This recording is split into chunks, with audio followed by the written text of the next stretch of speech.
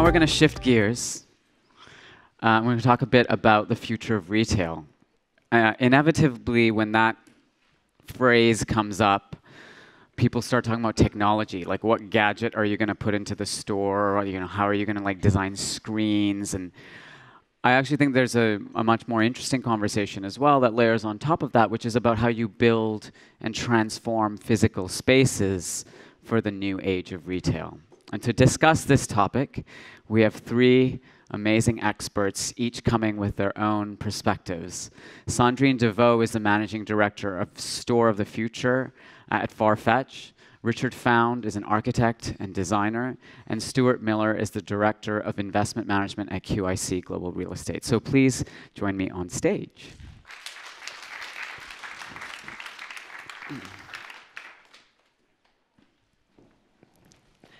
Welcome. Thank you.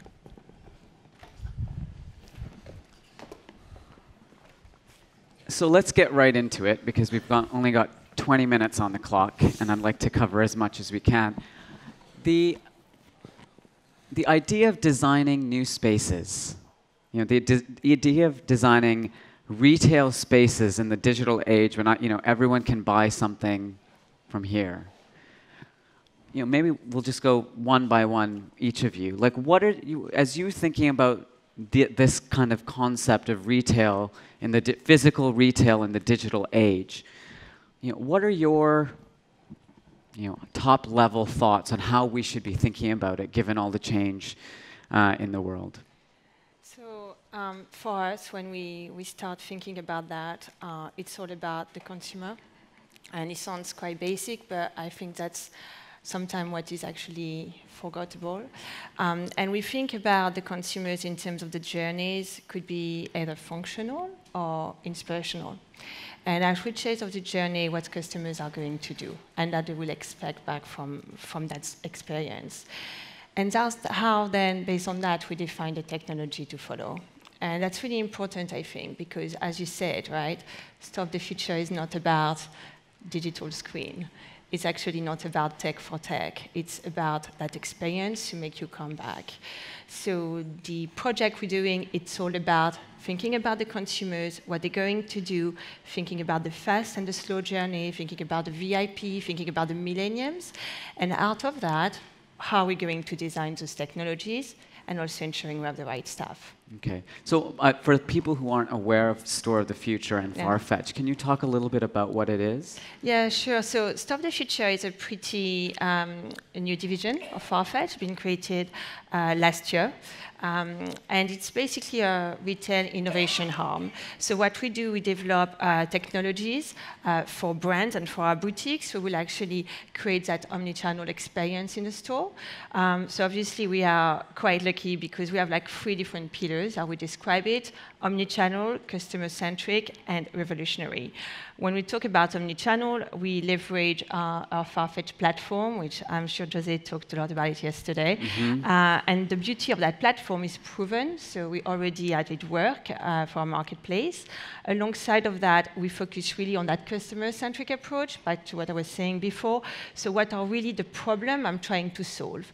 Um, and I think that's kind of what is really important for brands because uh, consumers' problem in a retail space could be very muddy. And, and thinking about, okay, today there is so many different complexity in a retail space. What is that technology going to bring and going to help us to drive? And finally, revolutionary because that's just the way we work with. Um, with different companies, right? right? It's all about tapping into the startup ecosystem and make it uh, a very different proposition to, to our boutiques and to our brand. Okay. So, Richard, um, you actually design literally design retail spaces or transform existing retail spaces into new retail spaces. Sure.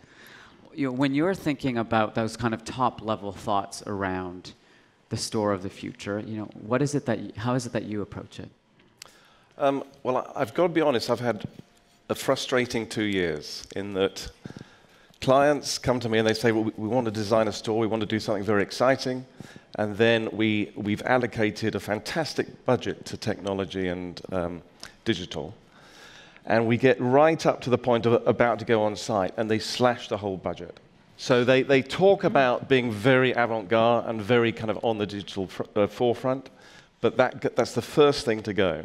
Now, I know that won't be the case next year, no. and it's never the case with you, but um, it's, it's quite frustrating because you, th- those initial briefing moments, we're discussing doing away with tills, doing away with cash points. Everything is going to be paid on the, on the iPad. And literally, as I say, two weeks before going on site, that's abolished. And then we have to plan, suddenly we have two weeks to plan stores with these ugly cash tills back in the scheme again. So it's a pity that clients don't continue uh, with their initial briefs, you know. And also, I think what, what's exciting at the moment, talking about the store of the future, is that um, most of my clients say, Richard, I want you to de- design a store and remember that that store is only going to be around for five to seven years. And then we're going to rip out that interior and there's going to be a new shop fit. The store of the future, I think, is just going to be a three year store. I think it's going to be very interesting. I think it's going to be, it, that store of the future has to be extremely flexible um, internally. And I think it's almost going to be, it's going to feel like a, uh, a, a pop up, but with integrity. Mm-hmm. And I, what I'm quite excited about is, is obviously a lot of clients are, do, are, moving away from these large flagship stores. No one can afford the kind of Bond Street, Sloane Street kind of rent anymore, and, and those square footages can be half the s- square footage. Um, so I think that it will end up being a, a, a pop up environment, but I'm hoping that clients are going to understand there needs to be one element that is very, very strong within that store. So it could be that the, where they spend the money could be on this wonderful terrazzo floor that runs throughout the whole store, and then the product sits on that terrazzo floor, and the rest of the environment is where we kind of save a bit of money. Obviously, lighting is very important. Um, but I think what's going to be the challenge is if you have this pop up environment where it's almost like a stage set, your, your internal VM teams are going to have to be working so hard mm-hmm. because it's suddenly they are like set designers. Mm-hmm. Uh, and, and I think it's very important to, to constantly be changing this new pop up store that you have. So every four weeks or every two months, you've changed something about that store, and it's another reason to return to that store. I mean, obviously, one of the reasons to return to a store is because you're hoping the product has changed that month or in those two months. But another reason could be is that you've given an opportunity to an- another brand in the center of the space. It's like it's, it's, it's just another reason to get back into the store. And I know you may be coming on to that point later. But yeah. Um, Stuart, uh, you know, you approach retail obviously uh, with a investment perspective, right? So when you, and, and it's interesting because Richard just says, you know, the store of the future is only three years.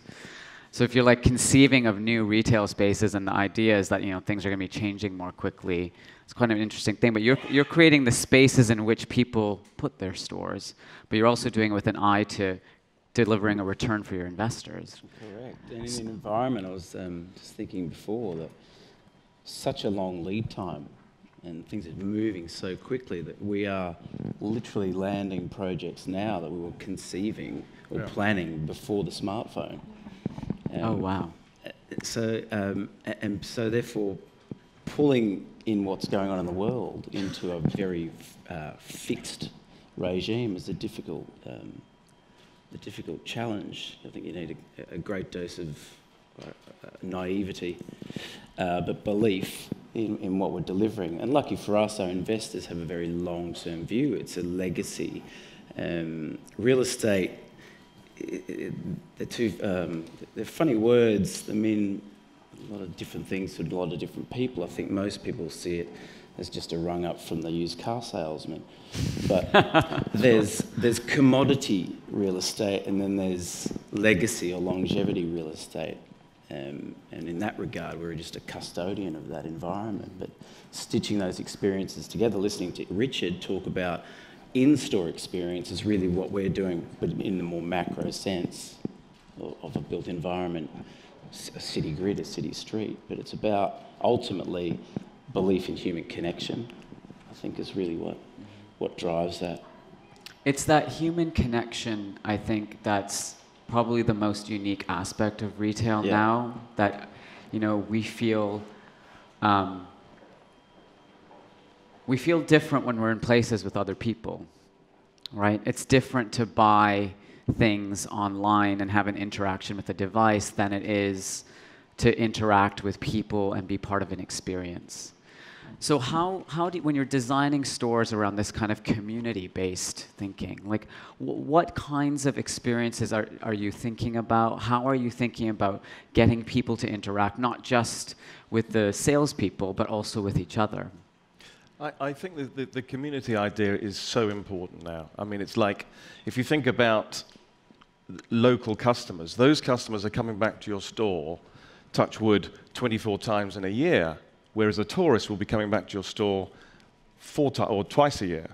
So I, I, I love the design of, of the Aesop stores. And I think what's so ex exciting about that concept is that they design a store, they have a different designer, and they design a different store for a different city. But there's certain materials within that store that are found locally. So there's, there's a heritage there.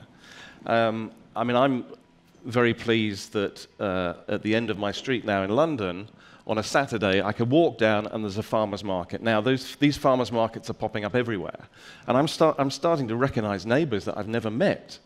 So, this, the, and I, it may be a backlash to massive shopping, um, not shopping centers, uh, supermarkets.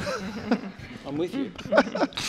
um, but uh, i just think it's so important to, yeah. to, design with the community, with local community in mind. Yeah, I mean, it is even more important for a shopping center, right? you know, growing, growing up in Canada, um, you know, in the suburbs, the shopping center had always been a community place. Yeah. yeah. Things happened there. There was Santa Claus there at Christmas. There was, you know, there was always activity hmm. back then. But I think the need for that kind of community feel when you're thinking about building retail environments yeah. is even more so now. So, so as you conceive of these huge properties that you guys are putting together, like how are you integrating that into the thinking?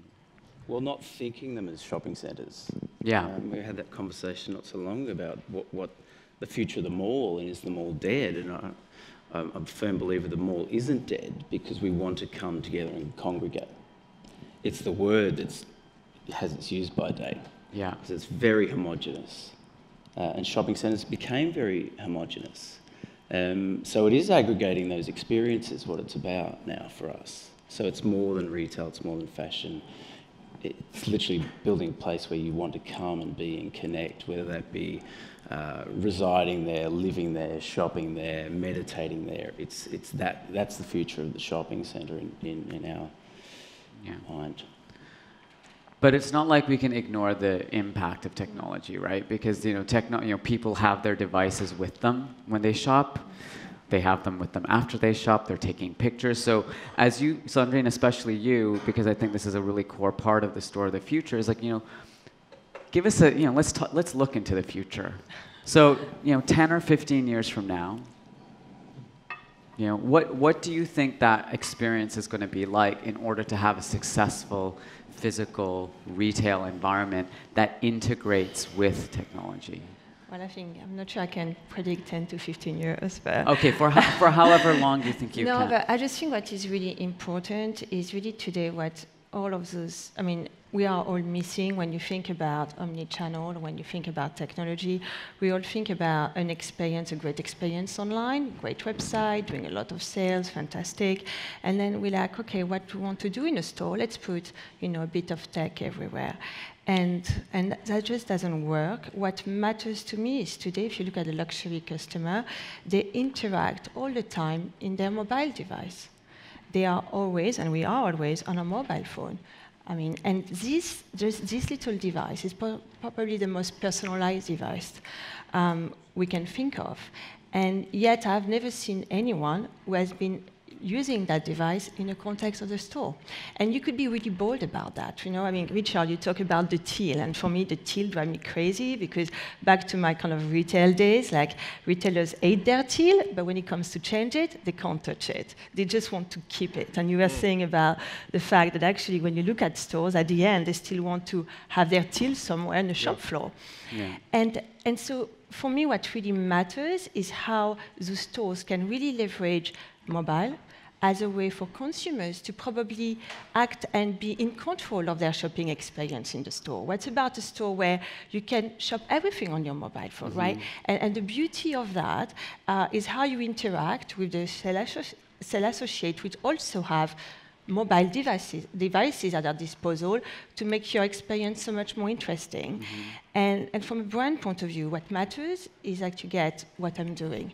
You mm-hmm. know me, you get the data. Yeah. A- and I think that's back to what you think about in 10 years old, in 10 years later. What matters is how a brand can really know who I am and get that connection with me. Yeah, because the risk with the gadgets, I mean, I, I think everyone for a while was looking at what Apple was doing and saying, okay, if we get some salespeople with iPads, that's mm-hmm. the future, right? Mm-hmm. Um, and so that you know maybe some of them didn't re- remove their tails or, or did, but I, I just found that you know the thinking was more about looking like a store of the future, but then actually, what are they doing with the information that they have about these yeah. people? Absolutely, and I think that's a challenge today. I mean, in our stores, what we do, we tend to take customer detail at the till if you have the process right, and even if you do it, the data doesn't even go in the right pipes, as I call it. Yeah. So most of the time, the information is wrong. And what we need to think about is the same way we look at a website and how you monitor the clicks, right? And everyone knows about what I'm doing, uh, for sure on farfetch.com. How can you transpose that in a store, but in a way that the customer doesn't see it? And that's why I think is really revolutionary what we're trying to do, because that's really the sort of the backbone of, of getting that experience so personalized. So you see, for me, it doesn't matter about technology for technology. It's really how I know that customer so well online, in store. And what I do in store is more about the experience, back to your point, is more about more what you discover through technology, uh, giving uh, an emotional um, contact with that tech, you know, asking them what they think about the next stage of VR. Why not? I mm-hmm. mean, it's experimental, and, and you value their point of views, but what you know is actually you know everything about them, mm-hmm. and you're able to serve them better. Sure.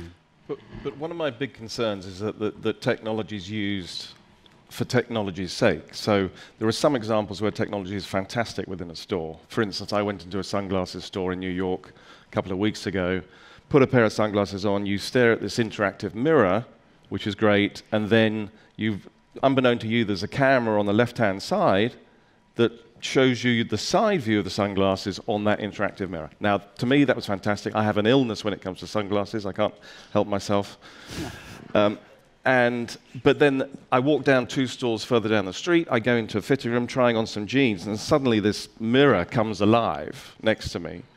And there's just two questions on this interactive mirror, and it's espresso, cappuccino, question mark. And I'm thinking, that's so bizarre. I don't need that. because there is an assistant just the other side of this curtain yeah. who's a foot away from me. Right. And I, who could then say, Would you like a coffee? As yeah. opposed to me actually having to yeah. tap onto a screen. It's like. But I just think actually that's a challenge because I think probably on those two examples, the, those stores haven't thought about the customer journey. Yeah. Haven't thought about, okay, that piece of tech, what exactly the problem you're trying to solve, or what exactly are you trying for the consumer? Yeah. And that's probably why you just thought it's a waste of time, maybe. Mm.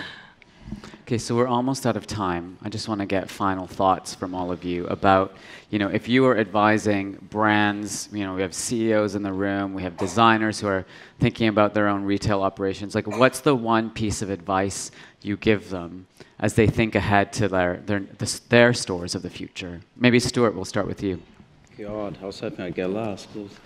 Take you by surprise. he did take me by surprise. Um, uh,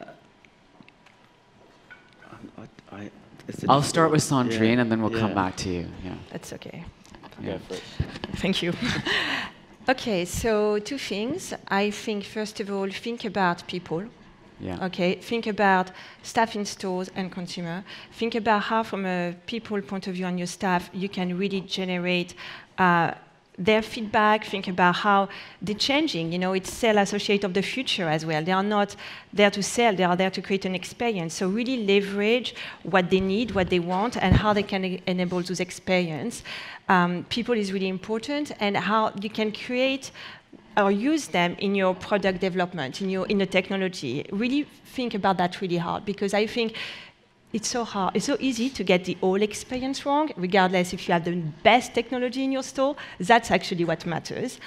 Um, and the second of all, I think what is really important is to try to really embrace what's going on in the market. With so many tech out there, so it's important for it maybe in your team or within your organization to have a bit of a team who is actually scouting the market, understanding what those new startups are doing. I mean, we're seeing amazing tech from a guy in a garage uh, who is coming to us with a great piece of technology, but he has no idea how this can change the industry. So I think for me, that's really those two things people and have a point of view about what's going on out there, which is not easy, I suppose, Okay. but really Richard? key. Um, two things. I think the store should be totally flexible moving forward. So, in other words, you're not wedded to just having X amount of jeans on one wall. You can flex that throughout the whole year. If there's a certain brand that's doing incredibly well, then they can get additional space. I suppose that means that it's almost like a generic shop fit within a department store.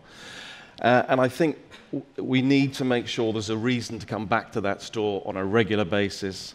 Um, what we've done in, the, in uh, is we've got this 200 foot wall next to shoes, and we commissioned this graffiti, well, not graffiti artist, an artist from London called Barry Reigate, who is a bit, he's kind of in between Basquiat and um, Banksy. And he's, he's painted this massive mural along all the shoes.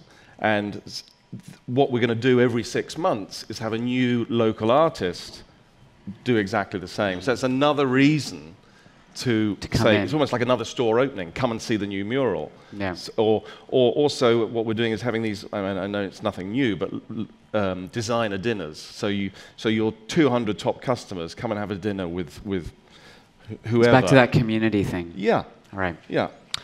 Um, Stuart? What was the question?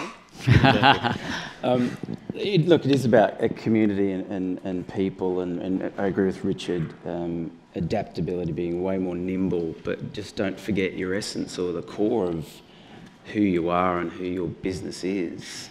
Um, and you know, I just think we need to dial it down a bit and not and, and just not growth for growth's sake. Yeah. You know, It's not all that about it's scale. Not, it's not. Um, and that, that, that really comes to a lot of what we were talking about the last couple of days about the ethics and sustainability. Yeah. I think we just need to own that. Right. We're out of time, but thank you very much.